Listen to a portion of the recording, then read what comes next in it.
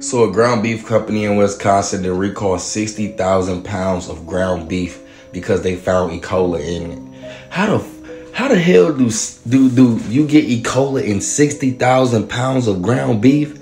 But anyway, so if you live in Michigan, Ohio, or Georgia, and you bought ground beef in the past week or two, three days, and you get that shit, you to you to try to sue the draws off them up. You to sue the drop the the balls off their ass. Recalls always be crazy for me because I'll be like, what about the people that already ate it or already and bought it?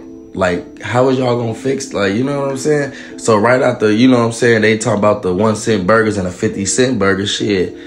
McDonald's and shit. If you in Ohio when you eating that shit, boy. crazy out here, man. 60,000 pounds is, is mad crazy, bro. Like, like how much of the shit did they actually get back from the recall? You feel me? How much was sold already? Like, you know. But I'm gonna pray for everybody that live in Ohio, Michigan, and Georgia for sure. And you know what I'm saying? Like niggas finna be walking around the hood with E. coli and shit. You feel me? Like this shit wild. Niggas be walking around with COVID, E. coli, and all type of shit. You know what I'm saying? It's it's crazy in the field, you know. But y'all go ahead and like, comment, subscribe, follow, and just share. You know what I'm saying? Please tell me what y'all think.